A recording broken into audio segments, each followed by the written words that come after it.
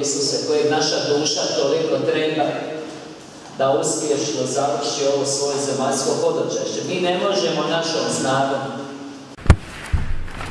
Nama je potrebna božanska snaga Zato kaže u Ivanu 6, 53 stih Ako ne jedete tijela Sina čovječega I ne pijete njegove krvi Nemate u sebi života i to vječnoga. Ne, Mi nama treba božanski upliv Da bi mogli istinski živjeti Govori o riječi koju moramo primiti u srce po vjeri, to je tijelo i onda po njoj živjeti da bi se Duh Sveti Boži ili Božja snaga oslobodili u dušu okrijepili, osnažili, dali o istinski život i to je istinska pričest. Evo mene često pitaju, doista, to je jedno od učestalih pitanja Za razno razne formalne kretnje i običaje. Evo danas su me opet pitali što je sa križanjem Znate, u ime Oca i Sina i Duha Svetoga, Amen. To je jedan pokret ruke, vanjski pokret. Često me pitaju za razno razne kretnje tijela. Recimo, kretnja tijela bi bio odlazak u crkvu Kao zgradu u određeni dan. Zato me isto često pitaju Pa me pitaju za krštenje Pri čemu se misli umakanje tijela u vodu jer ljudi su zbunjeni, naravno Negdje u srcu osjećaju Da ono što crkve po tom pitanju naučavaju nije istinito Jer vide ili u sebe ili oko sebe Da izostaju učinci kojeg ljudi pripisuju tim vanjskim kretnjama.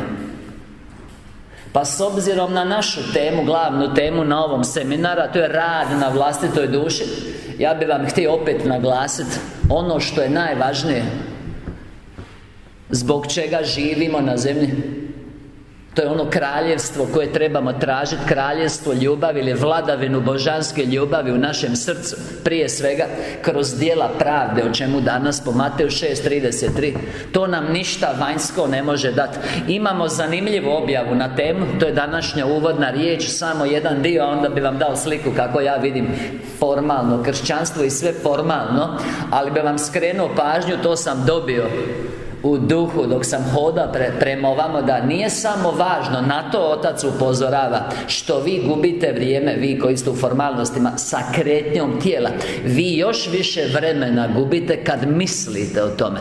E onda vas vrag izvuče iz hrama Božjega koji u vama fokusira vas na raskoš na pompu na vanjštinu i vi ste izgubili odnos s ocem. E to sam dobio u duhu da vam naglasim a ja ću vam slikom pokazati dobro ovo je nova objava prevedena za potrebe ove knjižice To je knjižica broj 82 Nova knjižica je u pripremi Naziva Rad na vlastitoj duši. Ovo je drugi seminar u nizu gdje vadimo učiteljske materijale iz ove knjižice. Prvi je bio u Zadru Rad na vlastitoj duši U zagradama spoznaja dolazi prva Samo spoznaja dolazi prva.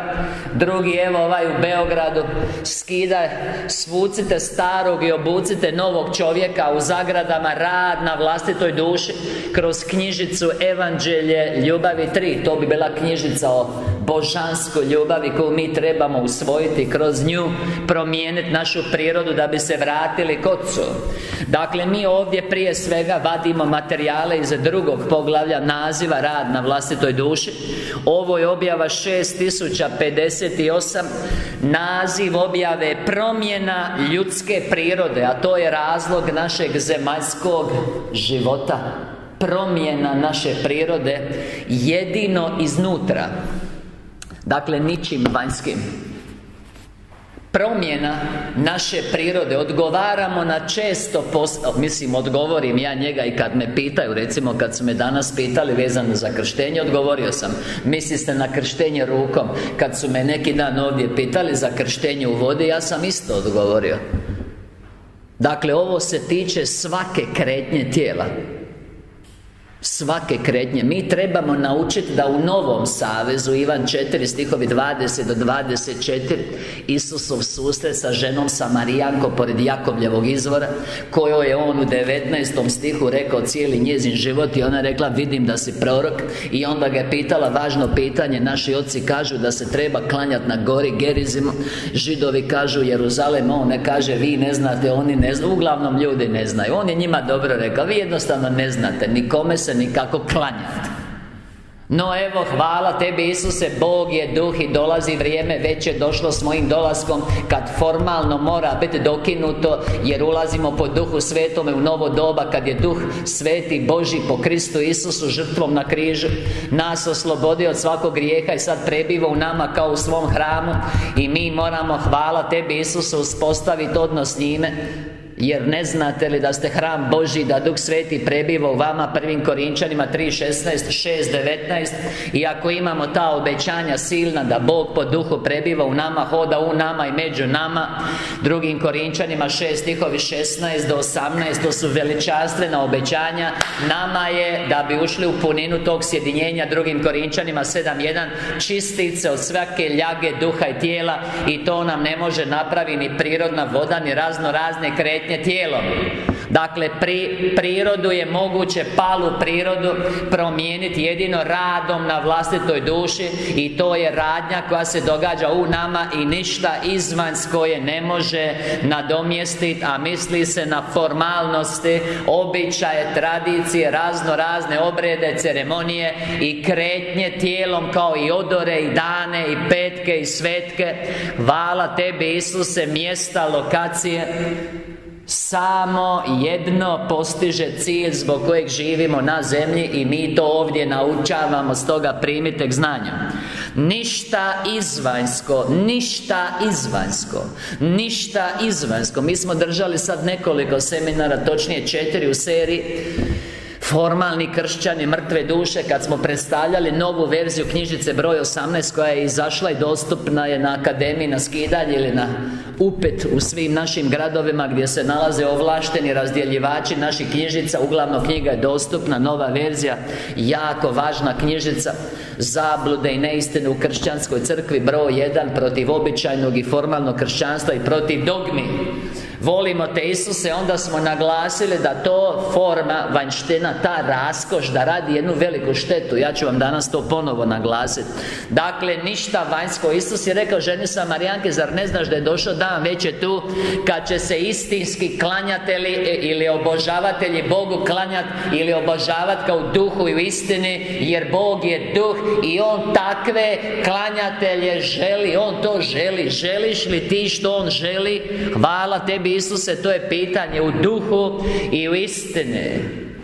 Dakle, ništa izvanjsko. Zato ja nemam ništa izvanjsko. Nema ništa, nikakvih voda, nikakvih hljepčića, nikakvih hramova, nikakvih dana, ništa. Srce, on gleda u srce ne gleda u vanjštinu On gleda u srce Prva Samuelova 16.7 Bog gleda u srce, ne u vanjštinu Dakle, ništa izvanjsko Nema blagotvoran učinak na vaš unutarnji život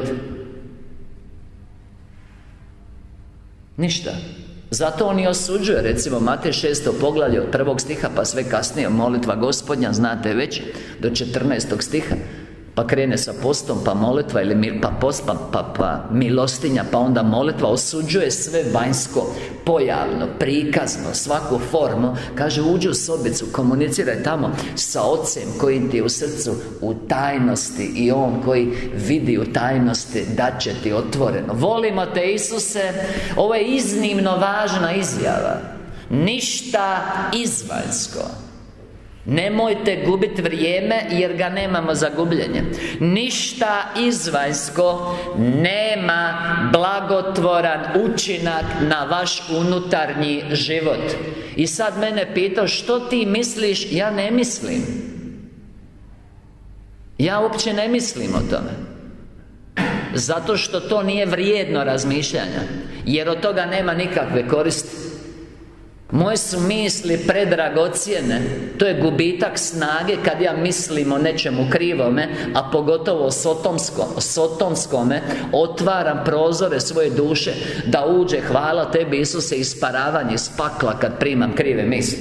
Misle su sile Koje zrače bilo nebeski, bilo pakleni duhovi ja ne mislim o tome, nemam mišljenje o tome. Ja ne mislim ni o tebi, prijatelju O tvojoj negativnosti.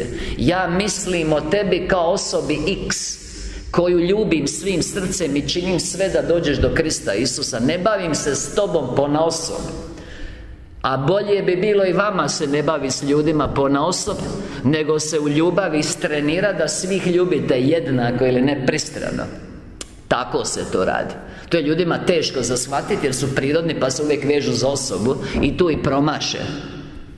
Volimo te Isuse i hvala tebi Isuse. Dakle, ništa izvanjsko Nema blagotvoran učinak na vaš unutarnji život.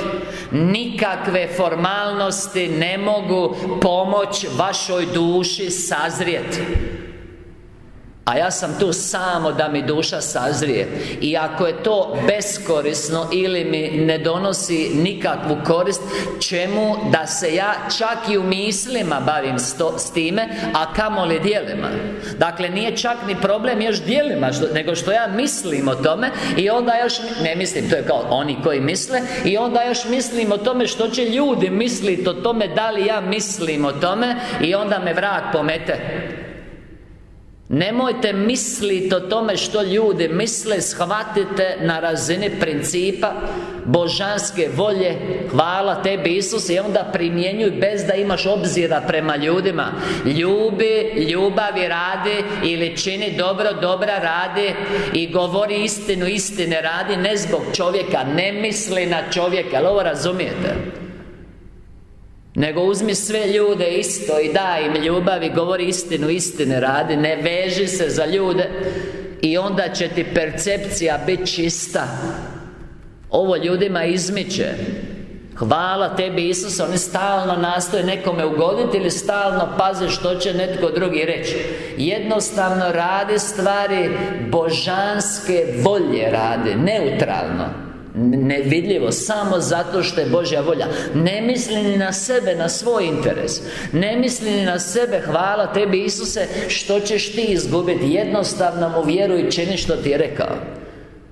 Pa da vidite kako će vam se život olakšati Ništa izvanjsko nema blagotvoran učinak na vaš unutarnji život Pazi, nikakve formalnosti ne mogu pomoć Jel se križaš? Ne A što ti misliš? Uopće ne mislim Dakle, meni to ne padne na pamet Zašto? Pa imam pametnijih korisnih stvari za razmišljati Ne želim svoj duhovni prostor ispuni sa smećem Jer mi to ne čini dobro. Ne punite se smećem Hvala. Morate naučiti otpustiti misaoni otpad On je radioaktivan.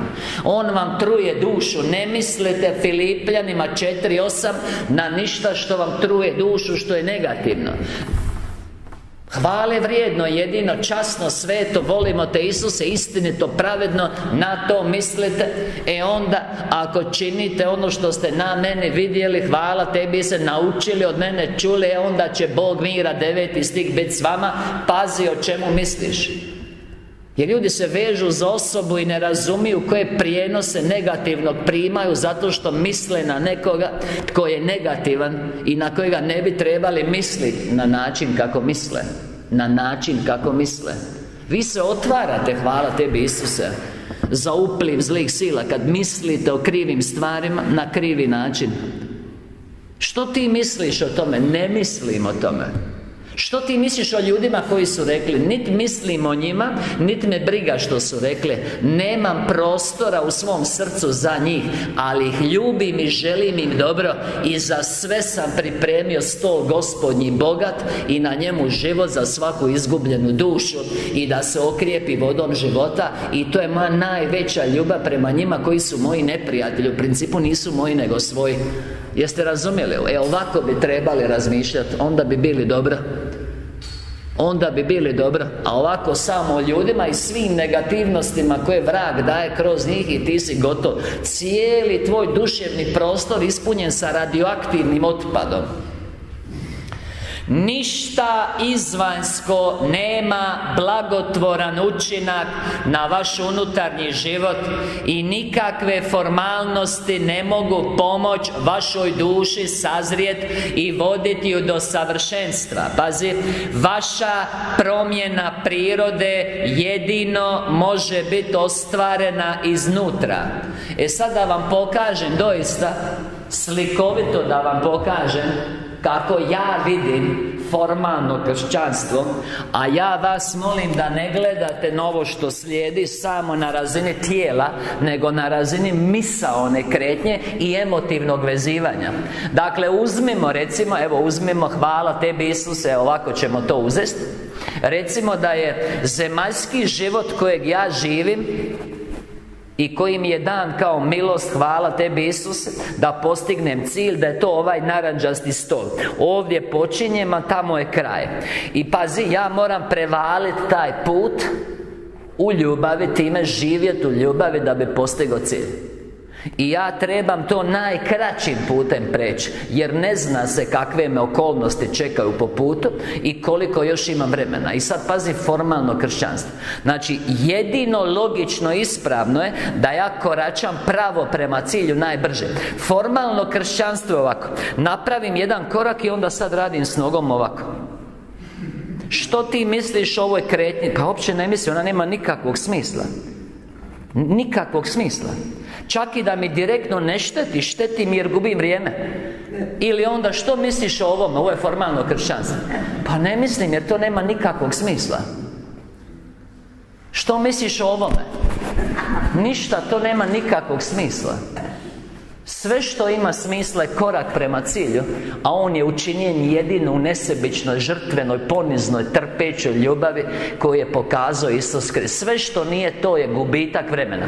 E sad ovo isto zamislite Ne na razini tijela Nego misaonog prostora. I sad se ti zaokupljaš sa svim ovim, znaš Puna ti glava ovoga ne vodi ničemu ne vodi ničemu i ti si sav ispunjen. Što misliš o ovome? Pa ne mislim ništa, to nema smisla. Pa to nije korak prema cilju. Što misliš o tome da ima majicu sa ruk... Ništa, ne, nebitno. Što misliš o mojoj frizuri ako ja imam to malo duže? Ne mislim, uopće nebitno. Nebitno, znači to su sve nebitne e, To ja mislim o tim stvarima da su nebitne I zato o njima ne mislim i zato o njima ne mislim. I sad oni stoje ovako tri dana na jednoj nozi I onda se oni natječu da ih svi vide ko više stoji na nozi I to je formalno kršćanstvo A nisu napravili korak prema cilju. E to ja mislim o tome. Hvala tebi Isuse o svemu formalnome. Jeste li shvatili poruku? Ali najvažnije što trebate shvatiti Nije kretnja tijela Nego misaona kretnja. Jer ljudi su zaokupljeni sa nečime što ne vodi k cilju. Oni čitaju knjige, slušaju ljude Posjećuju mjesta, obavljaju radnje Koje ne donose nikakvu korist duši I točno su ko flamingo na jednoj nozi godinama I ništa se ne događa, ništa. Ili se vrte u krug. Oni su razvili vrtnji u krug I tu su se specijalizirali, a to ne vodi ničemu. Nisu se makli koraka prema cilju. Jeste li razumjeli? Hvala tebi Isuse I volimo te Isuse. Evo publika je Aplauz za publiku. Shvatili su slikovitu poruku. Hvala tebi Isuse. Isus je rekao Progovorit ću vam u prispodobama Otvorit ću usta iznijet tajne skrivene od postanka svijeta Pa evo, ovo je bila prispodoba Vrte se u krug i od toga nikakve koristi. Dobro? Ajde da ponovimo i dalje uvodna riječ. Ništa izvanjsko Nema blagotvoran učinak na vaš unutarnji život. Pa to je logično. Pa to se vidi po ljudima koji idu u crkvu. Kao sve obavljaju, a promjene nikakve i dalje pije, puši, tuče ženu, vara, hvala tebi Isuse, krade, laže, mulja Ne cijeni nikoga, ogovara. Je li ga promijenilo, je li ga promijenilo to što je stajao na nogama, klekno Ne znam što napravio? Ne, nije, da li mu je koristilo duši? Ne, nije, znaš ti, on zna da nije. Dobro, čemu onda? Kome ti ugađaš? Kome služiš? Ništa izvanjsko nema blagotvoran učinak na vaš unutarnji život. Nikakve formalnosti ne mogu pomoć vašoj duši Sazrijet ista je riječ o savršice i voditi ju do savršenstva. Vaša promjena prirode može jedino, jedino biti ostvarena iznutra. Pazi, evo ga, jeste spremni? To, što ja volim kad on kaže to Znate kad je on Petru rekao, kad je pitao Petra Petre, dobro daj, reci ti meni Matej Vala tebi se 16 13. do 19. stih Što ljudi govore, tko sam Ili što sam, pa su učenici promašili Znate već Ivan Krstitelj Jeremija jedan od proroka A što ti Petre misliš Tko sam ja? Ti si Krist, sin Boga živo Kaže Isuse, bravo Petre Stijena Pazi, pazi To Ljudi promaše to, to što je to o čemu? To ti nisu objavili krvi tijelo Nego duh oca mojega O vole, to Vi dok ne uhvatite to Promašili ste cijelu bit O čemu mi ovdje govorimo? To Što je to? Pazi To je zašto se vi ljudi morate učestalo Često. E ovdje te vrag uzme.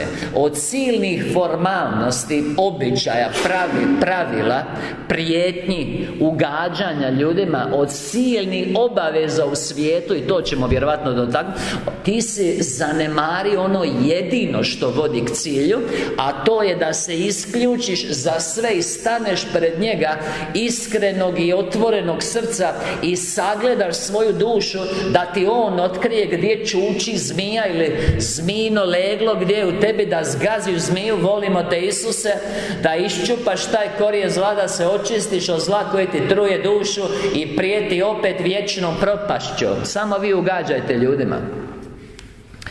To je zašto? Što je to? Ništa izmansko se vi ljudi morate učestalo Ne s vremena na vrijeme svakih deset godina Učestalo to bi bilo svakog dana Čak i dok radiš na poslu. Učestalo povuć u samoću. To ljudi ne rade. Izgovor na djecu, izgovor na muža, izgovor na posao, izgovor na državu, izgovor na stranku, izgovor na ovo, izgovor na ono. Stalno neki izgovori A duša sve gora situacija sve lošija i sve su ti drugi krivi Ne, sam si si kriv. Jer ne radiš to. To. To je zašto Zašto? Ništa izvanjsko. To je zašto se vi ljude Što ja volim kad on kaže vi ljudi Ja znam točno tko govori, kome govori i zašto govori.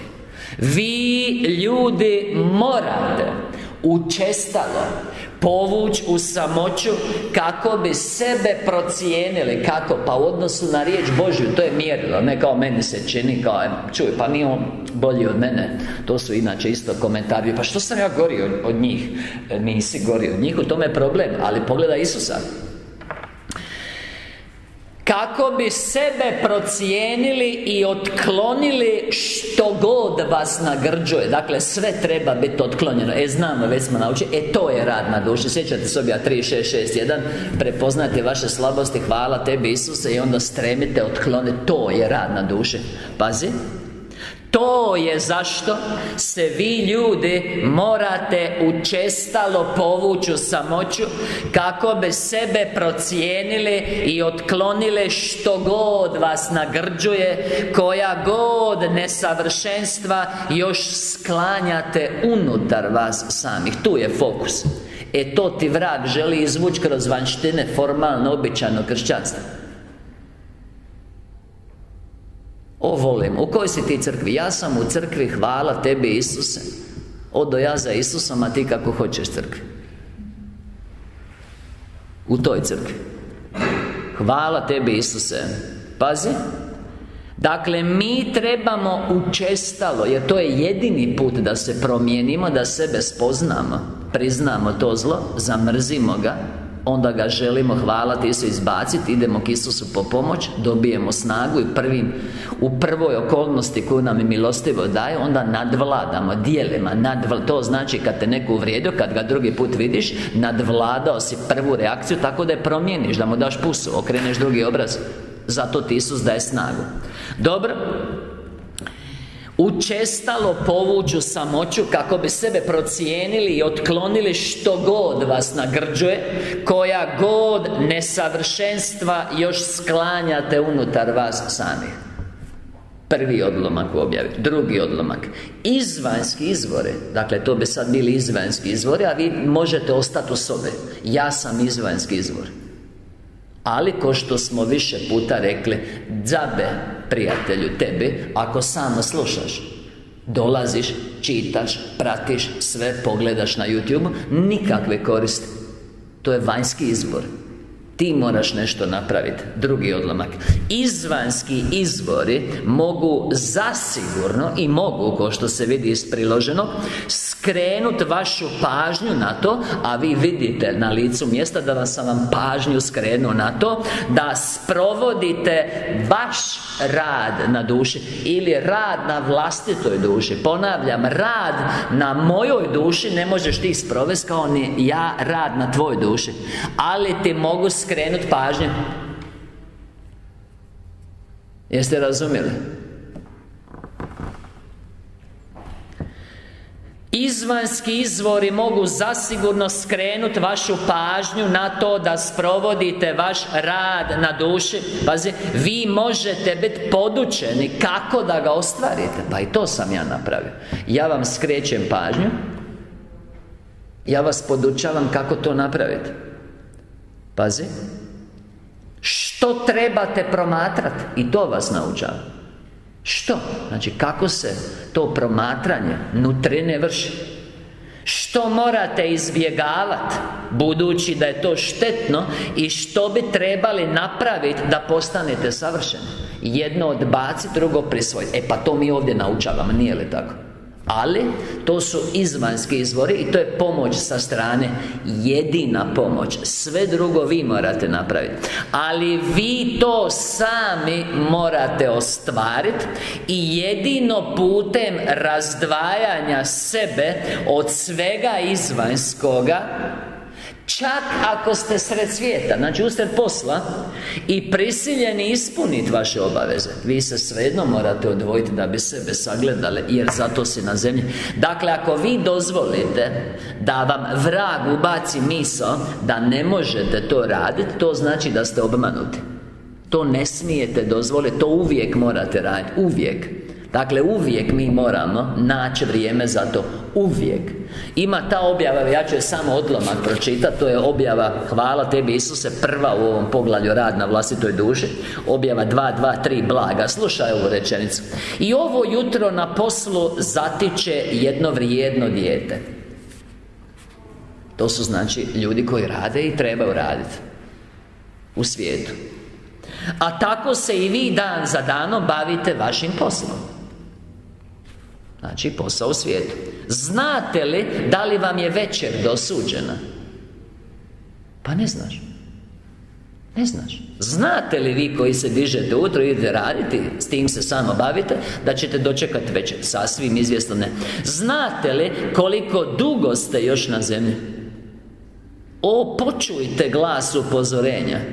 Zlatne kapije će vam se otvoriti Samo ako ste voljni spoznati jer u tom vremenskom periodu Svo vaše razmišljanje promijenit će se. Morat ćete spoznat zašto Otac trpi događaj na zemlji. Da je sve što vas danas pokreće Pazi Samo u smislu božanske mudrosti Za vas dozvoljeno kao sredstvo za usavršavanje Shvatite to i ponizno se stavite pod ravnateljstvo gospodara. Shvati zašto si na zemlji, kako ti je život uređen, da je to samo za sazrijevanje I podloži se njegovom vodstvu da postigneš cilj. Kako bi se iz svih događaja oko vas I u vama moglo razviti novo djelovanje, rad na vašim dušama. Dakle, čak i na poslu U svemu što nam se u danu događa Mi moramo shvatiti da je sve uređeno u božanskoj mudrosti Samo da postignemo savršenstvo i mi se moramo podložiti tom očevom vodstvu I onda kroz sve što radimo u danu Ima stalno na pameti jedno Ja moram sazjeti u duši. Sve je tu da mi pomogne da sazijem u duši. E to je pravilno razmišljanje Čak i kad smo na poslu Hvala tebi Isuse. Ipak ovaj rad na duši Dalje govori o ljudima u svijetu. Mora biti sprovođen istodobno Znači dok radimo u svijetu Jer je to unutarnji, unutarnji posao. Ti si u svijetu u kancelariji, radiš za firmu što trebaš Ali u odnosu s ljudima koji ti idu na živce Ti vršiš duhovni rad Svjestan očevog vodstva da ti baš te ljude daje Koji su idealni da te nasekiraju. I unatoč tome što radiš u firmi u kancelariji Za novac što trebaš Ti trebaš razumjeti da su ljudi koji su tebi dodijeljeni Idealni kroz svoje nečistoće i zloće i nepravde Da tebi daju priliku da radiš na vlastitoj duši Ako ostaneš u ljubavi. E o tome govorim. Mi ne smijemo gubiti vrijeme Jeste razumjeli? I onda ti kancelarije postane Hram Boži gdje ideš na bogosluže Ko što smo objašnjavali na seminaru Kršćanin i dnevne obaveze Gdje smo govorili o zaposlenju i životu u svijetu na poslu jednog kršćanina koji bi iz kuće treba izaći kad ide na posao kao da ide u vinograd gospodara raditi na vlastitoj duši pronositi evanđelje i onda ga rad u svijetu ne bi nigdje ometao dobro, ipak ovaj rad na duši Mora biti sprovođen istodobno Budući da je u cijelosti rad na duši Neovisan o vašem zaposlenju.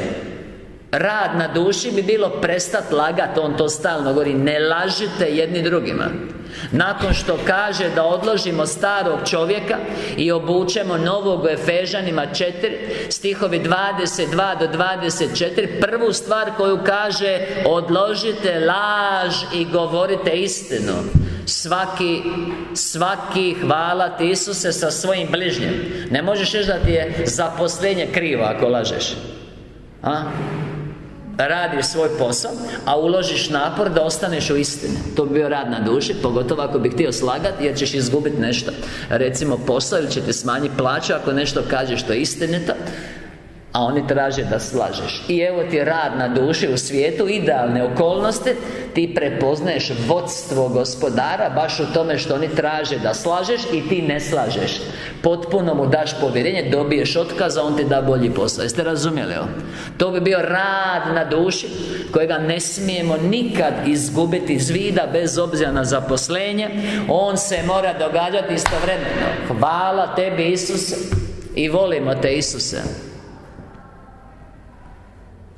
Jeste tu ili ste išli doma? Mislit će ljude hvala ti se da ste umrli da ste išli doma. Ipak ovaj rad na duši mora biti sprovođen istodobno Budući da je u cijelosti neovisan o vašem zaposlenju. Ti možeš biti pokvarenjak kao vozač Hvala tebi ste taksija Ili možeš biti pokvarenjak kao predsjednik države. Pri čemu ne kažem da nijedan predsjednik Nego pokvarenjak Nego možeš biti na najvišem i na najnižem položaju. Ti možeš biti dobar čovjek, hvala tebi Isuse kao vozač tramvaja Ili možeš biti dobar čovjek kao predsjednik vlade Ili nemam pojma koji predsjednik. Neovisno o položaju Neovisno o plaći. A volimo te. Isus kad dođeš pred sudište u dan suda Te neće pitat Hvala ti se kolika ti je bila plaća Nego koliko si ti prijatelju duhovnog blaga stekao Kakvo ti je srce? Bio ti vozač tramvaja, poštar, predsjednik, predsjednica Hvala tebi Isuse, muzičar ili ne znam što Dadilja, čistačica, srce On gleda srce, njega možeš mijenjati Trebaš ga mijenjati svaki dan bez obzira na zaposlenje jer on se tiče taj rad koji je nezavisan na našem zaposlenju O vašoj unutarnjoj prirode Vašim pogreškama i lošim navikama. To se tiče vaše unutarnje prirode Vaših pogrešaka i loših navika. On se taj rad tiče unutarnjeg života ljudskog bića Njegovog razmišljanja Volje i ponašanja. Unutarnjeg života ljudskog bića Njegovog njegovog razmišljanja, volje i ponašanja. E recimo žena Ja sam čuo neke žene Klimaju glavom mužu iz ovog ili onog razloga su razumjele da ne bi trebali ući u protivljenje A onda se iznutra misli samo ti govori ja ću svejedno napravi po svome. Njoj to što ušutila na van ništa ne koristi. Ništa ona nije promijenila Jer nije to učinila u Bogu. Jeste razumjeli to? Ili ne znam, netko ovdje Hvala tebi Isuse Tako se smješka klima glavom i a iznutra se misli nešto krivo Njemu to ne koristi što čini na van Vi morate razumjeti Ništa vanjsko Ništa vanjsko mm. Misli na svoje srce, prijatelju Kakvo ti je srce? Dakle, to se tiče taj, taj rad na duši Unutarnjeg života ljudskog bića Njegovog razmišljanja, volje i ponašanja Koje čak i ako je usmjereno na svjetovan način Dakle, čak i ako radiš u svijetu Evo mene, ja idem u firmu Ja ću svima dati ljubav. Pa onda ja ne idem u firmu Ja idem raditi u vinogradu gospodara Služiti u ljubave Dijeliti ljubav Raditi na svoj duši i na duši bližnjega Slušaj To se tiče, znači nije bitno što si u prostoru Nego kakvo ti je srce. I ponavljam, bez obzira da li si predsjednik Ne nužno država, možeš predsjednik nogometnog kluba Predsjednik bilo čega Ili si najzadnji od najzadnjih u tom klubu U državi Nebitno je, bitno je kakvo ti je srce. Možda predsjednik završi u paklu A najniži od najnižih, najnižih čistač Jer mu je srce bilo pravedno će završiti u raju. Jeste razumjeli ovo? To važi i za crkvu. Možda propovjednici izgledaju super Svi gledaju, hvale ovo A njemu srce iskvareno Na pameti mu prljavi dobitak I netko ko nije nikad rekao riječ u crkvi Ko živi ponizno i sluša I voli Isusa I moli u iskrenosti Služi bližnjima Hvala tebi Isuse. Ode on u svjetla propovjednik Ko što će mnogi ide u pakao. Jer mu srce nije bilo pravo pred Bogom. Volimo te Isuse i hvala tebi Isuse na ovoj istini i to čisto je. Dakle, čak i ako je usmjereno na svijet Ovom ponovit ću cijelu rečenicu Ipak ovaj rad na duši mora biti sprovođen istodobno. Dakle, bez obzira gdje si u svijetu Što radiš, kakvo ti je okruženje Budući je u cijelosti neovisan o vašem zaposlenju jer On se, rad na duši, tiče vaše unutarnje prirode Vaših pogrešaka i loših navika. On se tiče unutarnjeg života ljudskog bića Njegovog razmišljanja, volje i ponašanja Koje čak i ako je usmjereno na svjetova način Dakle, prema svijetu, živi u svijetu Treba zračiti ljubav Inače se ne može govoriti o preobrazbi ili pretvorbe osobnosti. Recimo, ja sam budući ili mi smo budući da smo stalno na putovanju po gradovima Često u taksiju I vi znate da ja vidim dobro kako se taksista ponaša i procijenim ja njegovo stanje i ima raznih ljudi. I recimo taksista može u svojoj vožnji biti proklet A može biti blagoslovljen Može recimo varat ko što se nekad dogodi On te želi prevariti i uzesti novac Jer misli da si turista i onda ti želi ukrast novac. To će njega dovesti u pako jer krade i laže Jer nije u ljubavi Ako ostane tako. Može psovat sve okolo koji su na ovaj ili onaj način prekršili pravila prometa Može ih pro prokleti, psovati, želiti im da izgazi drugi auto ili tramvaj Ko što neki čine. Može biti jako nasekiran put, pun gnjeva, osvetoljubivost On je u paklu, iako nema veze što vozi taksi. A može jednostavno biti pošteni Hvala tebi Isuse, još ići kilometar dalje Ne naplatiti te ponuditi se ako može još nešto napravi za tebe blagoslovi sve koji prekrše pravila u prometu biti miran, ispunjen. I može ga vožnja taksija blagosloviti. E, na kraju će on završiti, to vam važi za crkve. Nema crkve koja te daje blaženstvo Moraš srce promijeniti Ali je bitno da naučavaju ljubav nije nužno da će svaka crkva naučavati ljubav, pogotovo u zadnje vrijeme, ali moraju bar spomenuti jer je u Bibliji, iako su možda stavili ljubav u drugi plan, ali završava objava tako da nije bitno u kojoj si crkve, nego kako ti je srce, da li živiš ljubav, a u svim crkvama je dostupna Biblija i možeš čuti od ljubavi, nije li tako? Sasvim izvjesno jest. Dobro, hvala tebi Isuse, evo ga Evo Isuse da ne prođe par sati dok se ne pomolimo Blagoslovi ti nas Isuse, molim te u ovom svetom nastojanju da pomognemo ljudima u spasenju njihovih duša ja te molim za blagoslov Isuse otvori nebeske brane izli na nas svaku milost. Isuse hvala ti na tome primamo u vjeri tebi na slavu beskrajna je tvoja ljubav prema nama budi ti blagoslovljen u svom presvetom hramu doista hvala ti na svemu amen Otud se vaš rad na duši Dakle, moj i tvoj Treba sastojat od pročišćavanja vašeg razmišljanja. Jel vi vidite da otac nikad ne govori Peri Periću Juri Juriću Milošu Miloševiću Nego govori neznanom junaku? Dobro da se me sjetila, nema veze Evo, tu. Hvala tebi Isuse Dakle, e, ovako mi moramo razmišljati na razini principa, ovo je bez osobe. To ti raščisti percepciju. Jeste razumjeli? Znači uhvati princip i primijeni ga svugdje. Otud se vaš rad na duši Nije rekao tvoj pa ti da ime A tvoj ne. Ne, svači rad Osoba X Otud se vaš rad na duši treba sastojati od pročišćavanja vašeg razmišljanja i naklonosti, sklonosti duše i od njihovog usmjeravanja spram božanskih ciljeva. Dakle, mi moramo pročistiti razmišljanje i žudnje i preusmjeriti ih time na božanski cilj A to su vrline koje nas vode do savršenstva u ljubavi Ili božanske karakteristike Koje moramo usvojiti Zamjenjujući one sotonske Da bi postale čista ljubav. I sve u razmišljanju i volji Što se tome protivi Ili nas skreće u stranu Što ovdje radimo specifično U odnosu na evanđelje ljubavi 3 I najteže kršćanske vrline Sve dakle što je protivno Mi trebamo odbaciti. To nitko namjesto nas ne može. Pa ja u ostalom ni ne znam što je u tvojoj duši. Znam nešto, ali ne znam što ti u duši. Ja ne znam što je tebi u duši, prijatelj. Čak i ako imam objavu po duhu To je samo jedna riječ. To znam, znači jedan posto u trenutku Ali niko ne zna što je u duši. Hvala tebi Isuse.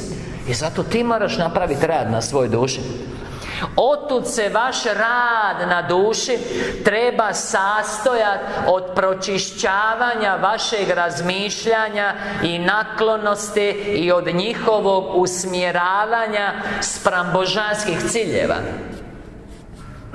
Ne tvojih ciljeva jer si promašio. Zato ja stalno upirem ovdje na svijetu čiste istine. To je jednostavno. Koji je moj cilj? To je jednostavno pitanje. Koji je moj cilj?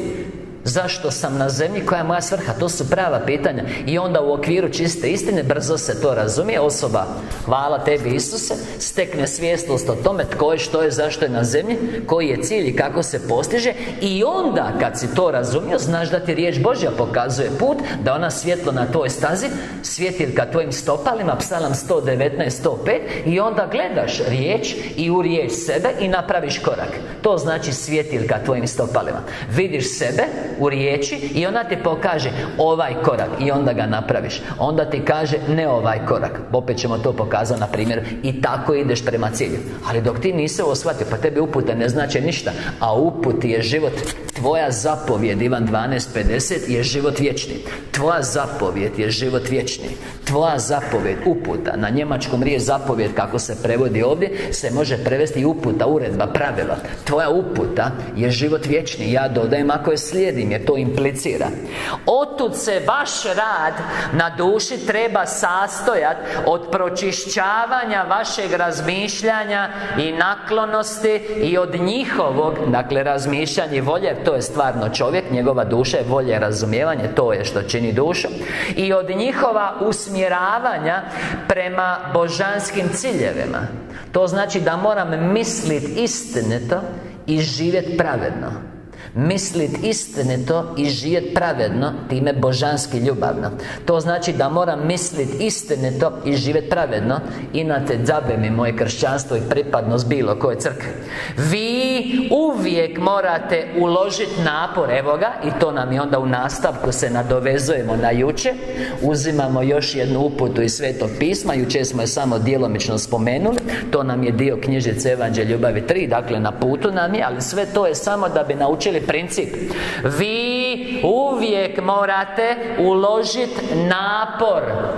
Kraljevstvo se Božje ili vladavina božanske ljubavi u nama osvaja na silu protiv naše neljubavi. Mi moramo uložiti napor.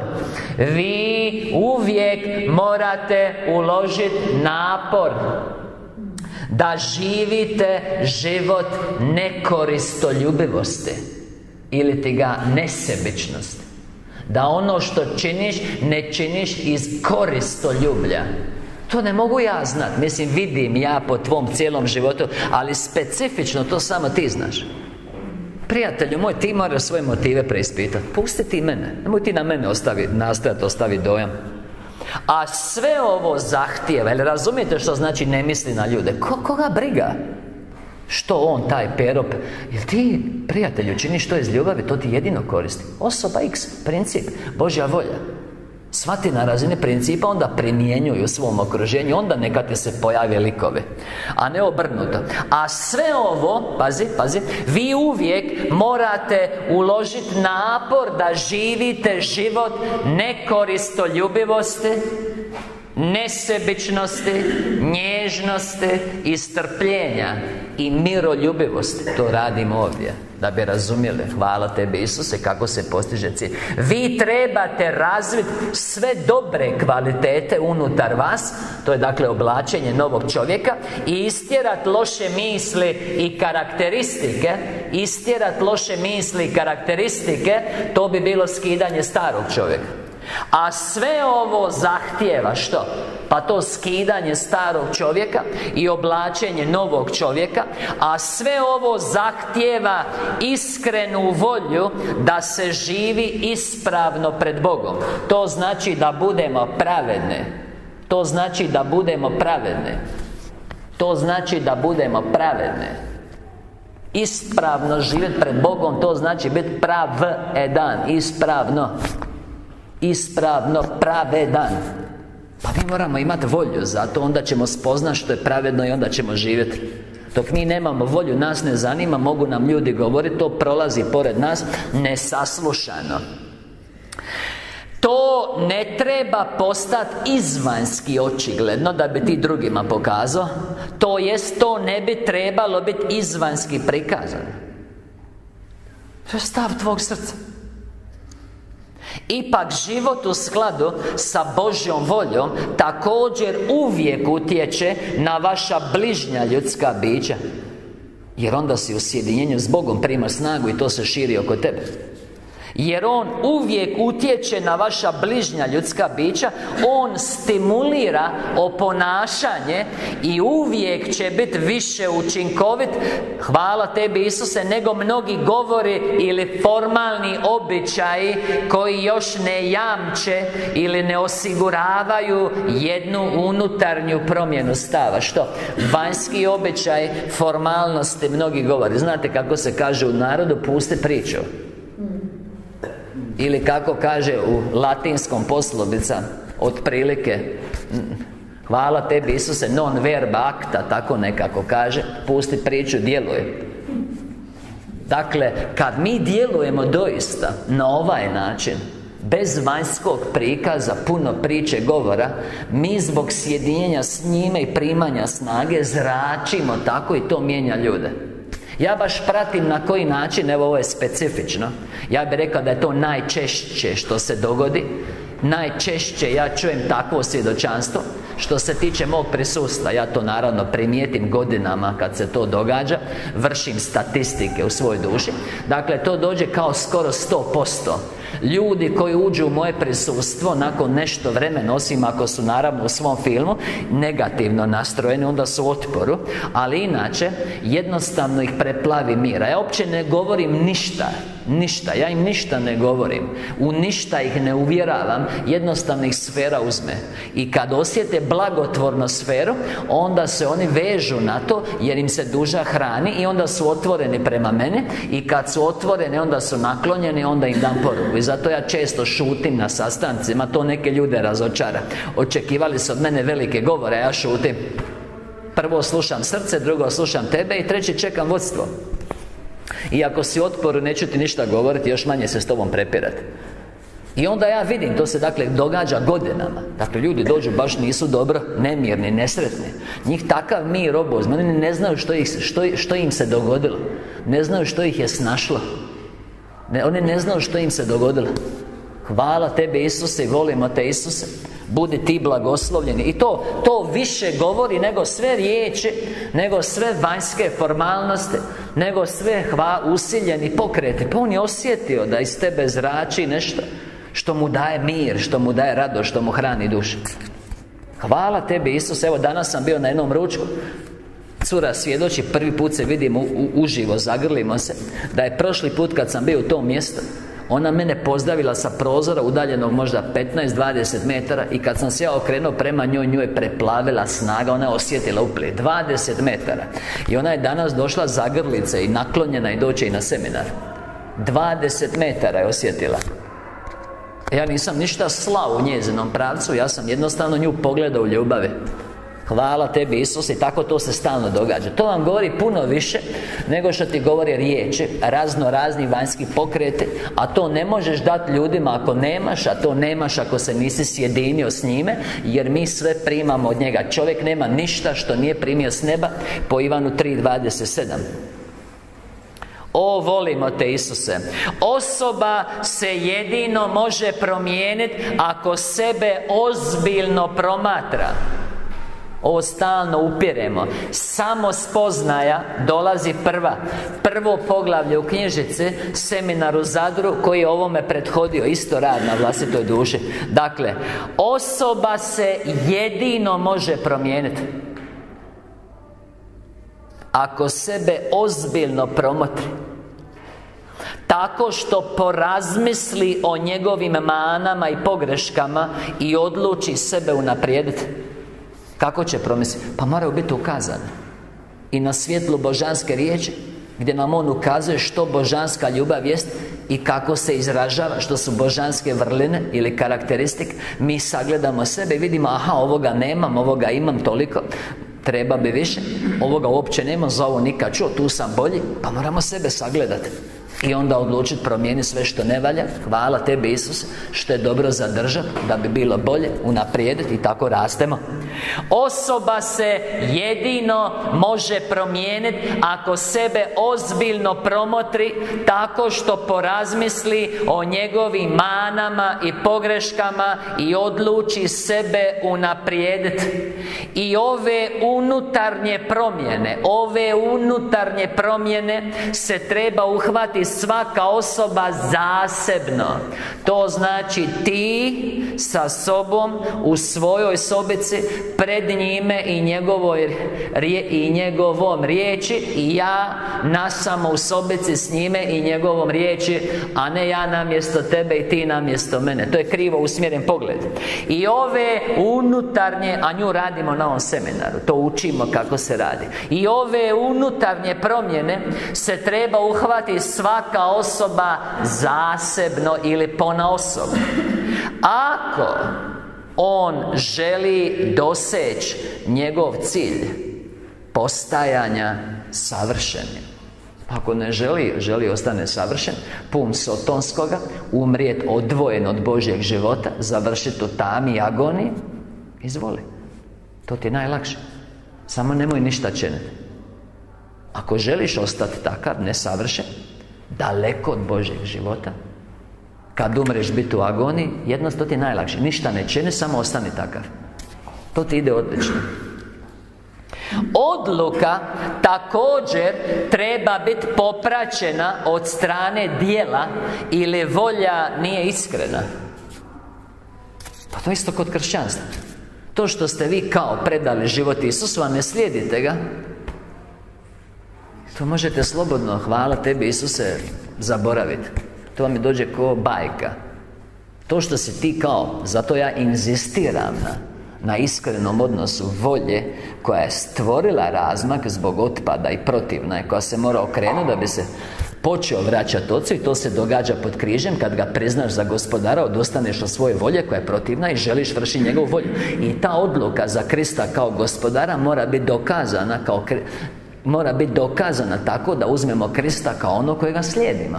E onda mi dokazujemo da je On naš gospodar. Jer kaže što me zovete gospodaru, gospodaru A ne činite što vam zapovjedam? Ili kažem Luka 6.46 To nema nikakve koristi tako da nazovi kršćani koji zovu Isusa i skupljaju se u kršćanskim crkvama Koliko su crkve te crkve A ne slijede Isusa, to su bajke To oni fantaziraju, to nema veze s ničim. Oni su i dalje djeca đavolja jer vrše volju svoga oca. Po Ivan 8.44 Odluka također treba biti popraćena od strane dijela ili volja nije iskrena. To vam važi za kršćanstvo u cijelosti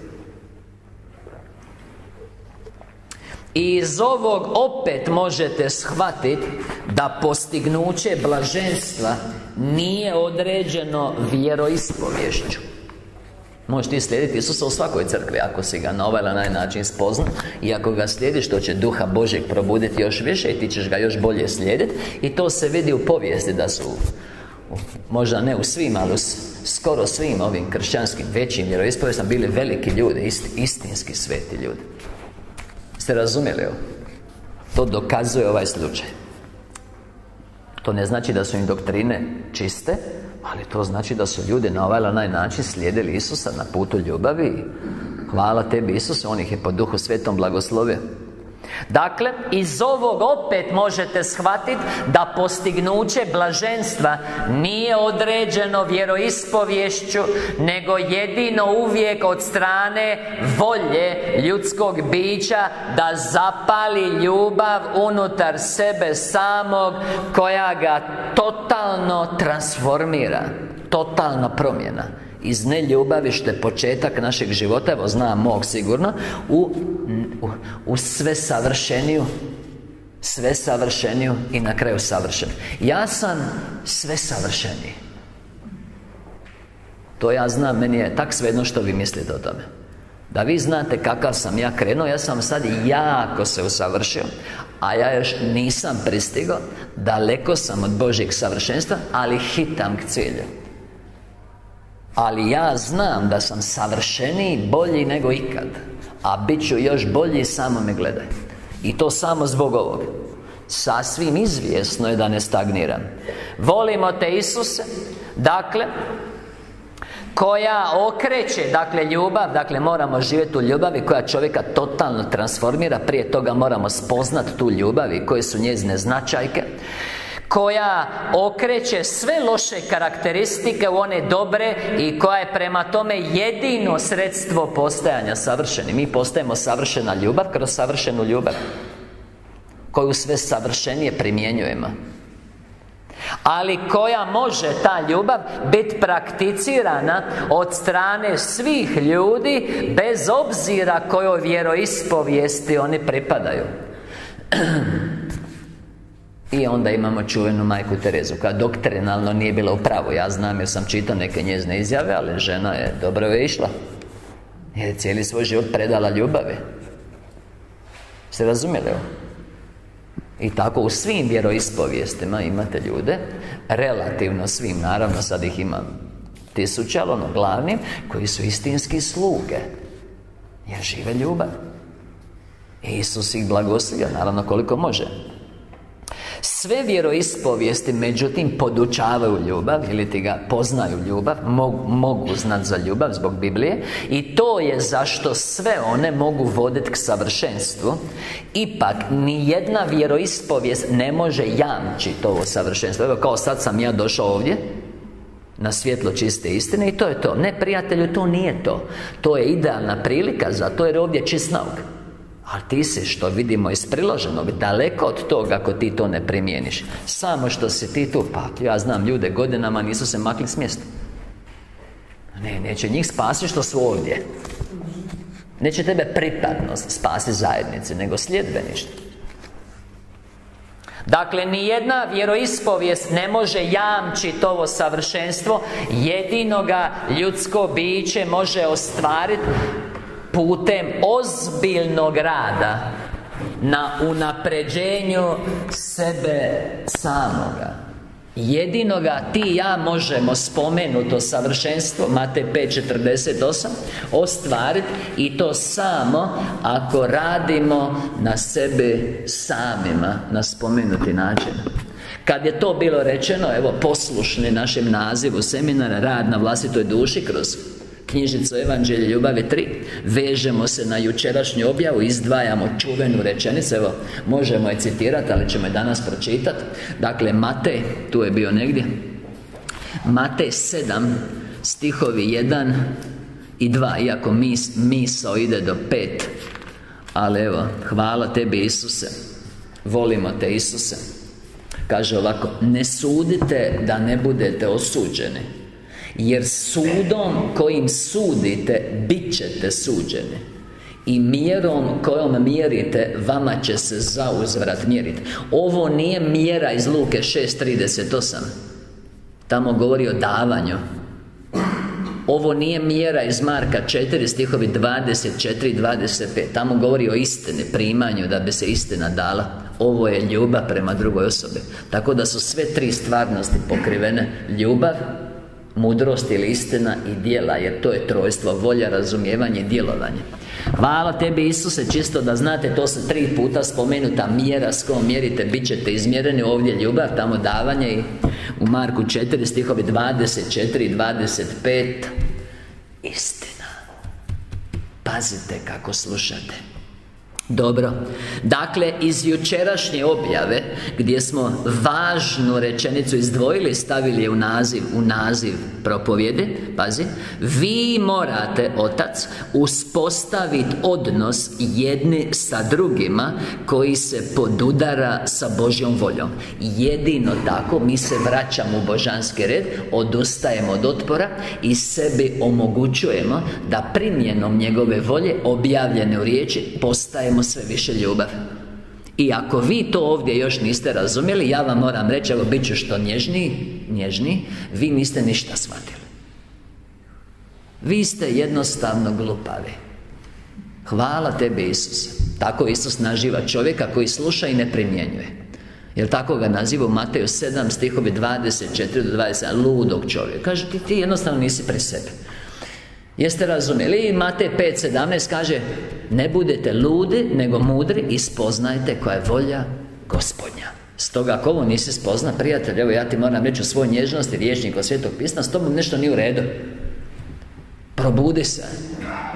Ispljuskaj se, dobro dobro, dakle, nastavljamo, a ponavljamo Mislim, meni to nije teško, shvatili ste Na vašu izgradnju po Filipljanima 3.1 Vi morate uspostaviti odnos jedni sa drugima koji se podudara sa Božjom voljom.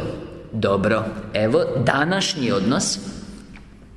Dakle, riječ Božja je svjetlo na stazi života i svjetiljka To bi bio svaki pojedini korak Našim stopalima. E, ovo napravi jedan korak, pa onda ide drugi korak. Jedan korak smo recimo jučer obradili vezano za miroljubivost. Ranije smo govorili o dugostrpljivosti, jel tako? Blagosti, nježnosti. Evo nas sad ne sudete, tako se gleda sebe. Tako se gleda sebe. I dok ti, ti sebe ne sagledaš ovako Da bi se promijenio kako objašnjavamo Nema promjene. Ostaješ nesavršen Ostaješ u mraku, ostaješ slab, ostaješ bolestan, ostaješ odvojen I ako tako ostane do kraja, živa muka. Dobro.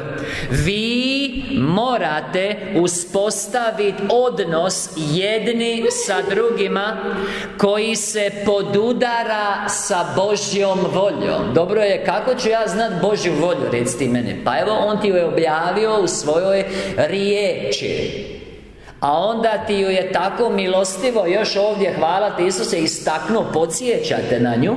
Ivan 14.26 I On te osobno podučava.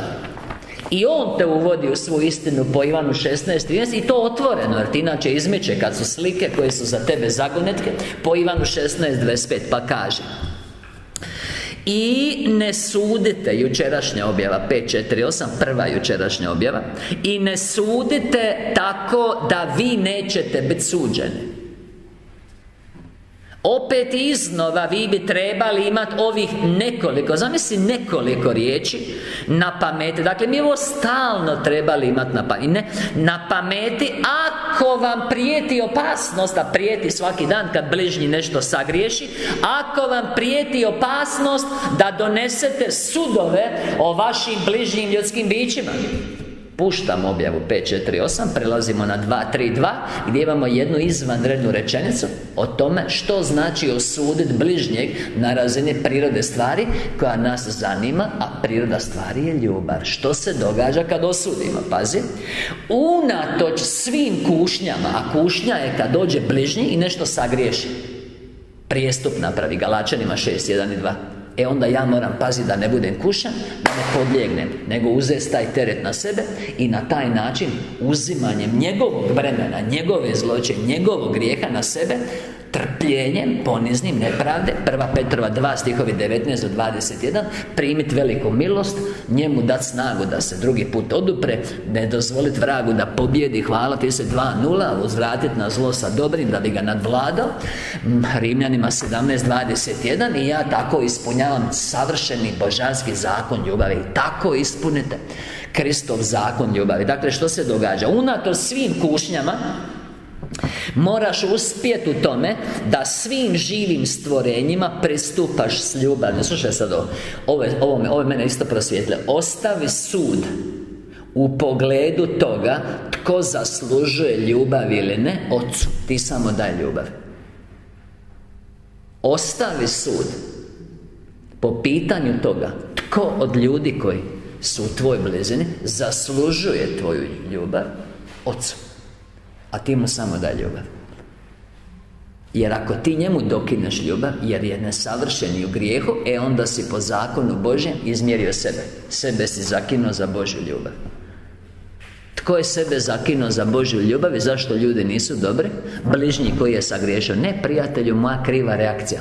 Zapamtite, molim vas Iako ja to obično kažem šaljiv Ali sam smrtno ozbiljan Mi nismo u akciji, mi smo u reakciji vi se pazite kakve su vam reakcije. Reakcije na Kristovu žrtvu I reakcije na ponašanje ljudi. Mi smo u reakciji. Dakle, ostavite sud po pitanju toga Tko zaslužuje vašu ljubav ili ne Otcu A vi ostanite u ljubavi Hvala tebi Isuse. Pa evo prelazimo na današnju objavu. To je nova objava Prevedena za potrebe knjižice Nove verzije 21 Što je evanđelje ljubavi 3 Kruna kršćanstva Hvala tebi Isuse.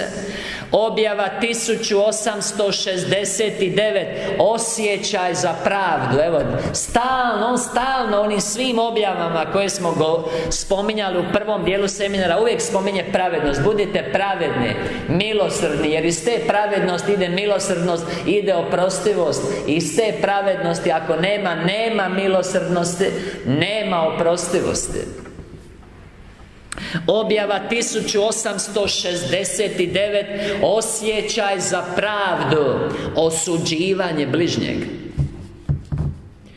Osjećaj za pravdu. Jer vi znate da je čuveni Matej 6.33 Sastavljen ne samo od onoga Tražite kraljevstvo Božje iznad ili prije svega Nego i od onoga i njegovu Božju pravdu Jeste vi kad stali razmišljali Koja je to Božja pravda? Kad su toliko važna dijela pravde Ako će ući u kraljestvo Jer ako vaša dijela pravednosti nisu veća od onih To je moj veliki ako, broj jedan Znate da ih ima pet. To je prvi veliki ako Matej 5.20 Jer ako vaša dijela pravde Nisu bolja Od onih u farizeja I pismoznanaca Ne, nećete ući u kraljevstvo nebesko. To je moćna izjava. Zamisli ako i onda vrata zatvorena. Bolje ti je shvatiti i primijeniti taj ako. To je veliki ako Jer je uvjet za život Zato je veliki. Nije to jedini ako u pismu Ali ovo su veliki ako. Dobro. Osjećaj za pravdu Mora prebivat u čovjeku. U suprotnome ne bi mogao izraziti nikakvu prosudbu nad naizgled neljubavnim djelovanjem. Jer ovdje isto ima krivog svačanja ljudi misle da ti nemaš pravo izraziti mišljenje onome što su napravili no imaš i trebaš. Jeste razumjeli? Ti trebaš prosuditi njegovo djelo da bi mu pomogao ali ga ne osudi zbog tog dijela da bi ga odbacio zato kaže u Ivanu 7.24 Sudite sudom pravednim, a ne pomanjštine Sudite sudom pravednim, a ne pomanjštine Volimo te Isuse i hvala Tebi Isuse. I ako vam se oni pokušavaju sakriti za Mateja 7.1 Nemoj me suditi, ne slušaj ga. Dužan si mu reći Ako vidiš da je u pogibelji da ti čini krivo ali se pazi da ga ne osudiš Tako da ga ne odbaciš. Moraš prosuditi djelo u ljubavi Da bi mu pomogao Da bi mu pomogao moraš ga osvijestiti. Hvala tebi Isuse. Osjećaj za pravdu Mora prebivati u čovjeku U suprotnome Ne bi mogao izraziti Nikakvu prosudbu Na naizgled Nad naizgled neljubavnim djelovanjem Tko sebe doživljava toliko nadmoćnim Da ne tolerira nikakvo proturječje Jer vjeruje za sebe da je nepogriješiv Nikad neće moći misliti na pravi način Jer ne dozvoljava drugima jednako pravo kao samome sebi. Dakle, kod misli da je nedodirljiv Iznad prosudbe drugih Ko ne želi čuti mišljenje drugih ljudi Nego se postavlja na poziciju suca Da on zna najbolje, on nije pravedan. Ne daje drugima isto pravo kao i sebe. To vam je jedna od definicija riječi pravedan. Drugima daješ isto pravo kao i sebe. Isto pravo. Da li je pravedno da jedan brat ima što za jest A drugi koji je s njime u istoj kući nema što za jest? Nije Prema tome, jedno bi bilo dijelo pravde Da on podijeli, a drugo bi bilo dijelo nepravde Da ne podijeli. Jeste razumjeli? Evo, hvala tebi Isuse. Potrebno je napraviti veliku razliku među ljudima. Pa nisu svi ljudi isti. Nisu svi ljudi isti. Ja recimo nekim ljudima u ekipici ne bi dao da mi idu fotokopirati knjižice Jer bi oni to krivo napravili. Ne zato što ga ja ne volim, nego sam ga prosudio nisam ga ja osudio. Ili još bolje, da me još bolje razumijete. Meni se ljudi znaju prijaviti To se relativno često događa Da bi radili nešto u misiji za mene. I ja jako rijetko to prihvatim. Zašto? Jer moja prosudba je da oni nisu kvalificirani. Unatoč najboljoj namjeri. Ne da ja njih ne volim, moja prosudba je da Oni nisu kvalificirani. Pa neću ti ja dati nešto što radi štetu i tebe I svima oko tebe I nagrđuje misiju. Hvala tebi Isuse ja to želim izbjeći kako god mogu. Jel ovo razumije? Pa zato ti treba prosudba. Treba napraviti veliku razliku među ljudima. Hvala tebi Isuse. Tko podvrgne sebe i svoje djelovanje pod oštru kritiku Trudit će se također da uvijek ispravno prosuđuje druge ljude Najprije sebe moraš podvrći pod kritiku Spoznat u sebe gdje je korijen zla I onda htjet sebi pomoći na ispravan način E onda vidiš kako drugome pomoć Jer poznaješ u sebi pomaganje. I to je nastavak do petog stiha. Hvala tebi Isus. Nastavak do petog stiha Gdje on kaže licemjeri Hvala tebi Isus. Kako je moguće da vidiš I sad ljudi obično uopće nisu shvatili bit te izjave. Dakle, kako vidiš balvan u oku brata svoga kako vidiš trun, trun u oku brata svoga, ne vidiš balvan u svome oku. Slušaj sad ovo. Naj, slušaj, slušaj bit rečence Najprije izvadi balvan iz svoga oka Pa ćeš onda vidjet kako izvadi trun iz oka brata svoga. Naglasak nije na ne osudi, nego na izvade, na ljubav. Ne pusti ga na miru, nego izvadi. Najprije da poznaješ u sebi vađenje, pa mu izvade Ovo ljudi promaše. Naglasak je na izvade Naglasak je na pomozi Ali ne možeš mu pomoći Ako ne poznaješ sam u sebi kako se pomaže. I ako čovjek spoznaje sebe i radi na sebe I kritičan je prema sebi I procjenjuje svoju kvalitetu ispravno Normalno da on može pravilno prosuditi drugoga da bi mu pomogao. I sudi ne po vanjštini nego sudom pravednima To je, do, to je i obavezan u Isusu ali tko jedino traži greške bližnjega I za sebe vjeruje da ih nema Razmatra svaki način djelovanja Samo sa stajališta nadmoćnosti Njegov je sud stoga lažan. Jer on nema percepciju stvari, on ima krivi stav. Tko nastupa iz pozicije oholosti I samo traži greške. Da bi druge ponizio Time osudio i odbacio ljubavi On nema pravilnu prosudbu. Ni ne može imati zbog neljubavi Ni ne može imati zbog neljubavi Hvala tebi Isuse. Svaki čovjek može pogriješiti Svaki čovjek može zabludjeti ali mora prepoznat samog sebe I tek onda se može boriti protiv svojih grijeha i oplemenice jer inače se ne, neće se on promijeniti ako ne spozna što radi pogrešno. Tko međutim ne prepoznaje u sebi nikakvu pogrešku Taj uopće ne teži u savršavanju Dakle, tko ne spoznaje u sebi mnoge pogreške Pa on uopće ne, ne sagledava sebe.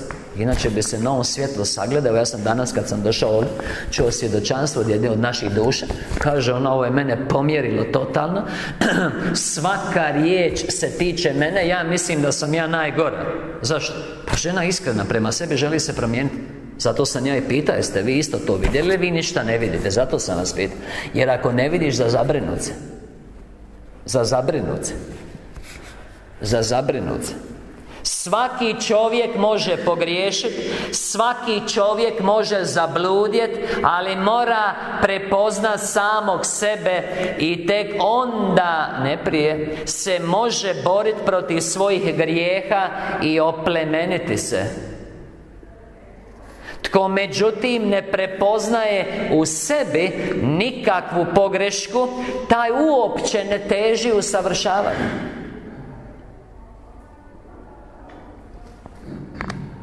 Kad ne ljubavno djeluje On to uopće ne primjećuje. Ali ovo je baš fascinantno kad se bolje primijeti. Kad čovjek djeluje neljubavno, iz oholosti, on sebe uopće ne vidi Misli da je super, gleda samo druge I on ne vidi da je u neljubavi. Tko, međutim, hvala tebi Isuse Ispravljam se, kad neljubavno djeluje On to uopće ne primjećuje Ne daje tome nikakvo obrazloženje I nesposoban je ispravno prosuđiva svoje djelovanje. Zašto? Pa ima oholost koja ga zamračuje. To vam je razlog zašto se ljudi ne mijenjaju. Zašto stoje na mjestu godina Godinama Godinama Godinama ja da sebe ne sagledavam I ne mijenjam se u onome što je nesavršeno Ne bi misija rasla skupa sa mnom. Ja bi bio isti koji na početku. Nema promjene bez ovoga. Vi ste mene čuli već više puta Ja sam odrasta na ovome Ja ništa drugo nisam poznavao. Ja sam samo ovo poznavao. Samo rad na duši. Ja ništa drugo nisam znao Kao hod. To je sve došlo kasnije i da se ja nisam ovako sagledava Da bi otklonio od sebe ono što ne valja Ja ne bi rastao. Ja ne bi rastao.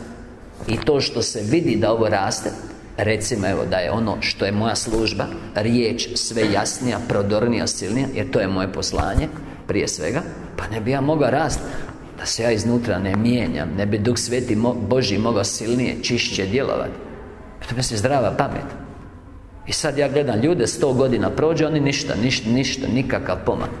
Pa ja kad sam krenuo nisam imao nikakve darove. Ja sam bio jako naopako. Ja sam bio ekstremno u svijetu. Ja sam bio ekstremno ukrivo. I da se ja nisam mijenjao Ne bi ništa od ovog danas bilo. Jeste razumjeli? Da se ja nisam mijenjao od ovog danas ništa ne bi bilo. A nisam se ja rodio ovako. Znate, ja sam savjest tetoviran i onda ja znam reći ljudima, daj mi im zagonetku. Kaže, ja sam se rodio savršen i istetoviran. Pa sad ti doma razmišljaš dok ne shvatiš. Ja sam se rodio savršen i savjest tetoviran Hvala tebi Isuse i volimo te Isuse. Dobro Tko međutim ne prepoznaje u sebi nikakvu pogrešku Taj uopće ne teži kao usavrša I zato ljudi mogu bi ja znam ubojice, kradljivce, silovatelje Hvala tebi Isuse Prostitutke, narkomane, vjernike Oni su najgori od svih ovih Hvala tebi Isuse Znam sve ljude ja, oni mogu ubiti, kaže Kenneth Hagin, babu svoju, ja bi ga svejedno volio. Razumijem ga, palo je biće, vraga je sveza Slab je, ne zna ni komu glavu nosi. Što će drugo nego griješiti? Ali mu treba dati priliku. Ali mu treba dati priliku. Ali mu treba dati priliku. Koliko prilika? 177 milijardi puta 7 na dan. Hvala tebi Isuse. Koliko tebi Isus daje Hvala Tebi Isuse I volimo Te Isuse. Kada neljubavno djeluje On to uopće ne primjećuje Ne daje tome nikakvo obrazloženje I nesposoban je ispravno prosuđivati svoje djelovanje. Pazi, nedostaje mu osjećaj za pravednost E to je ono što stalno govori, to su te vrline. Budite pravedni, oprostivi, milostivi, milosrdni. Hvala tebi se blagi, miroljubivi, dugotrpljivi. To ide sve u paketu. To je sve izražaj božanske ljubavi. To ti ne možeš ako nemaš ljubavi. Ništa od toga. Ni biti nježan ili blag, ni dugotrpljiv Ni pravedan, ni milosrdan, ni suosjećajan. Ne, Ništa od toga ne možeš dok ti se ljubav ne probudi i ne razvije. Zato ljudi nemaju te vrline koliko god da se oni nazivaju vjernicima. Nedostaje mu osjećaj za pravednost. Zauvijek će smatrat nedodirljivim svoje osobno djelovanje Ali će nastojat poniziti bližnjega za najmanje greške. Zauvijek će smatrat nedodirljivim svoje osobno djelovanje Smatrat će sebe iznad pogreške Ali će nastojat ponizit bližnjega za najmanje greške. Istaknut mu greške Da bi ga unizio Pri čemu sebe uzdiže. I to je značajka palog bića. To važi na svim razinama. To važi na svim razinama. Tako djeluje zmija. Tako zmija uvijek djeluje. Hvala tebi isto To vam je iza ogovaranja isto tako. Kad čovjek ogovara drugoga, izdiže se iznad njega Želi ga ocrniti, uniziti u očima drugih da on bude iznad. To je djelovanje đavla Zato je ogovaranje smrtonosno. To je inače duhovno ubojstvo. Ogovaranje spada u zapovjedne ubi. To je ubojstvo. Jetko kalja ili ocrnjuje ime drugoga Ocrnjuje ili kalja njegov život I komu ubija ugled, ubija njega Jer je to njegov život. To je jedna razina ne ubi Hvala tebi Isuse. Čovjek mora shvatiti Dakle, mi se trebamo ogledati ovo I sebe sagledat Da napravimo promjene I to je korak prema cilju. Ali dok mi to ne radimo i ne napravimo promjene Mi cupkamo u mjestu A možeš se ti vrtiti kao formalni kršćani koliko hoćeš Ništa se ne mijenja. Možeš ti zapali ne znam koliko svijeća Možeš sebe zapaliti kao svijeću Možeš putovati na hodočašće oko cijelog svijeta iz hodočašća na hodočašće. Možeš, ja ne znam koliko novaca dati u crkvu prijatelju moj Dok ovo ne radiš ništa od toga. Prvim Korinčanima 13, treći stih Ako razdam i sve svoje imanje i svo tijelo sažežem A nemam agape ljubavi, ništa mi ne koristi. Ništa mi ne koristi. Ništa mi ne koristi. Ljubav sve pokriva. Ljubav uvijek gleda prvim Korinčanima 13.7 Ljubav uvijek gleda ono najbolje u drugom čovjeku. Ljubav nikad ne prestaje Novi živi prevod kaže Ljubav nikad ne gubi vjeru. Novi živi prevod kaže Ljubav nikad ne gubi vjeru. O, volimo te Isuse.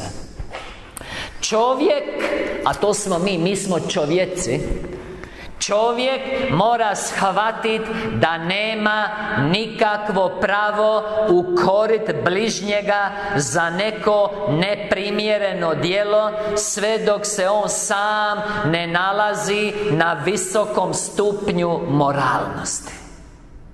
Jer onda će ga ukoriti na pravi način. Mora uvijek, to je osjećaj za pravdu Mora uvijek misliti na svoju vlastitu nesavršenost Kad želi ukoriti onu svoga bližnjega. E to je osjećaj za pravdu. Vidi, vidi, vidi, vidi Kako on izgleda u mojim očima. Ja sam ovo ima spontano To su neki čuli u odnosu na moju najbolju prijateljicu Koja je bila ekstremno ukriva. Ja sam ispekao ovo sa njom. Ja sam se ovako razmišljao, jer mi smo se volili, volimo se i dalje. Ja imam najbolja prijateljica i ja sam ovako razmišljao, ona je neprestano griješila ako, ako ona ovako izgleda u mojim očima Kako ja izgledam u njegovim očima? Ako ja imam toliko ljubavi prema njoj I ako griješi toliko, ja prođem preko Kakav je on prema meni? Ja sam to spontano shvatio, davno, na samim početcima To je osjećaj za pravednost Božansko Hvala Tebi Isuse. Mora uvijek misliti na svoju vlastitu nesavršenost Kada želi ukorit onu nesavršenost svoga bližnjega. Ali kad u nekom prebiva osjećaj za pravednost Taj neće donositi sud tako brzo za svoga bližnjega Jer će se nastojat, pazi, poistovjetiti sa njegovom situacijom. I zato kaže, budete pravedni, suosjećajni, milosrdni jer će se, on neće donositi sud prebrzo Već će se nastojat poistovjetiti sa njegovom situacijom. Možda bi ja u toj situaciji bio gori. Nisam ja u njegovim čizmama. Možda bi ja pod tim pritiskom da Hvala tebi Isuse, mene tako tlače na poslu Da mi dijete palo u školi Da mi frižider prazan. Možda bi ja isto tako napravio. Možda bi ja napravio tako Da me život gazio. Ali evo mene nije pa ja ne mogu možda skroz Se poistovjetiti Ali mogu pokušati Ući u cipele drugog čovjeka Da bi ga sagledao u ljubavi. Možda bi ti u njegovim čizmama prijatelj bio sto put gori. Možda bi se odao ti prijatelju drogi Možda bi ti bio gori od drugih ljudi. Možda bi pukao pod pritiskom. Mi moramo paziti kad donosimo sudove prebrzo Uložiti napor da sagledamo životnu situaciju drugog čovjeka Gledat mu uvijek pomoć Da je i najgori E to je kršćanstvo. Ali kada u nekom prebiva osjećaj za pravednost Taj neće donositi sud tako brzo za svoga bližnjega Jer će se nastojat poistovjetit sa njegovom situacijom I potom, to bi bilo naknadno će također imati i razumijevanja za slabosti i pogreške drugog Zašto? Pa spoznaje svoje mnoge slabosti i pogreške Da bi mogao ovo činiti Što? Pa suosjećati sa bližnjim Razumijevanje imati za njegove slabosti i pogreške da bi, jer mjera s kom mjeriš Odmah sebe mjeriš. To je mjera s kom sebe mjeriš. Mjera ljubavi koju sam dao njemu Je ista mjera koju primam. I ako ti se ne sviđa mjera ljubavi Promijeni mjeru kojom mjeriš bližnjega. Da bi mogao ovo činiti Ipak mora također biti iskren. Mora vidjeti stvari kako jesu. Ne smije sebe previsoko cijeniti A bližnjega prenisko jer onda će mjeriti svoje vlastite pogreške Sa drugačijom mjerom Nego one svoga bližnjega A to isključuje svako ispravno razmišljanje I prosudbu I time pravednost. Ako mi mjerimo greške bližnjega na jedan način, a svoje na drugi, to nije pravednost. Ako mi očekujemo od njega da nam oprosti sve naše grijehe A mi ne opraštamo bližnjima sve njihove, to nije pravednost Ako mi ne tražimo tu pravednost Mate 6.33 Nema kapanja Božanske milosti u život. Zato vam ljudi nisu obskrbljeni, nije im dobro Jer ne služe gospodaru Ponovljeni zakon 28 Stihovi 47 i 48 Jer nisi htio služiti gospodaru Bogu svome u svem obilju. E onda u svem obilju Kad služiš gospodaru E onda ćeš služiti neprijateljima tvojim Kojima će On dozvoliti da te hvala tebi Isuse potlače, zarobe u gladi, žeđi, golotinji i oskudici svake vrste. Volimo te Isuse i hvala tebi Isuse a da bi mogao ovo činiti, dakle, suosjećati sa bližnjimi Ući u njegov položaj, shvatiti njegove slabosti i pogreške Razumjeti ga kao brat i dati pravedan sud Boži E on mora biti iskren Mora vidjeti stvari kako jesu Ne smije sebe previsoko cijeniti A bližnjega prenisko Jer onda će mjeriti svoje vlastite pogreške Sa drugačijom mjerom. Pa nije strašno, ne prijatelj, isto je strašno koji njemu jer onda će mjeriti svoje vlastite pogreške Sa drugačijom mjerom nego one svoga bližnjega A to isključuje svako ispravno razmišljanje i prosudu Pa ti obavljaj formalnosti I onda izađeš iz crkve ogovaranje, preljub Droga. Oholost, sebičnost Uznositost. Samo ti obavljaj formalnosti U svetištu. Jesi bio? Ne, nisam bio, neću ni biti Hvala tebi Isuse, nebitno je. Što ti mi uopće ne mislim? Ja mislim samo na svoju dušu. Prijatelja, bolje i tebe. Toliko je neusporedivo Dragocjeno Biti oštar Sa samim sobom U prosuđivanju. Jako samokritičan To smo radili na seminaru u Zadru samokritičan Treba biti oštar prema sebi Oštra samokritika Toliko je neusporedivo Dragocjeno Biti oštar sa samim sobom U prosuđivanju. Onda čovjek ostaje vjeran sebi samome I neće uzrokovati nikakvu nepravdu bližnjemu Za vlastitu ljubav Dok u suprotnome Osuđuje način djelovanja drugoga nepravedno i sebe postavlja nadmoćnim u odnosu na njega ili boljim. To je jučerašnja objava rekla. Hvala tebi Isuse. Kaže, i ako mislite, objava 0548 Za sebe da ste bolji od drugoga Vi ćete teško biti Bogu po volji Jer to će za vas postati kamen spoticanja Na vašem putu do savršenstva. A ovime dokazujemo da mislimo da smo bolji Jer smo prema njemu kritičniji nego prema sebi i onda naravno taj stav oholosti blokira upliv božanske ljubavi. Nema svjetla, nema snage, nema promjene. I zato su vjernici srednja Ispod žalosti.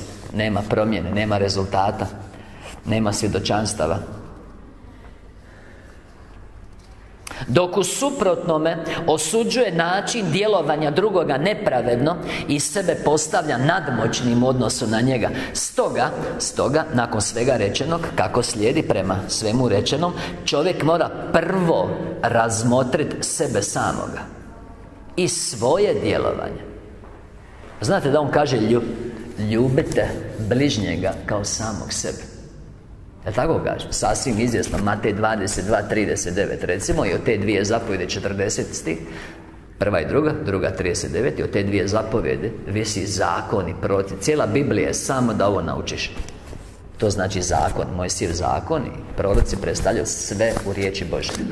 Cijela Biblija, cijela božanska poruka Ovisi o tome Da ljubiš bližnjega kao samog sebe Da ga sudiš kao sebe Da si pravedan, hvala tebi Isuse U oba slučaja jednako Evo završna riječ za danas.